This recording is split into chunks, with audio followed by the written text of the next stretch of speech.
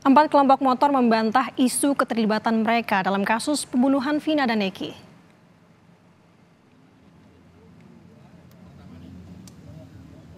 Empat kelompok motor ini adalah XTC, Unreker, Konak, dan GBR.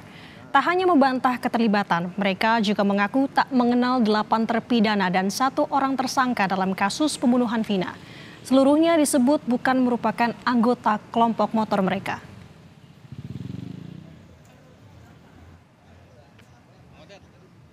Kebetulan emang Eki kebetulan anggota XTC Cirebon, kebetulannya beliau almarhum tim 04 Sumber. Sebagai apa Eki itu? Eh, anggota biasa. Dari keseluruhan 8 pelaku yang ada mungkin XTC nggak ada yang mengenal atau GBR pun nggak ada yang mengenal.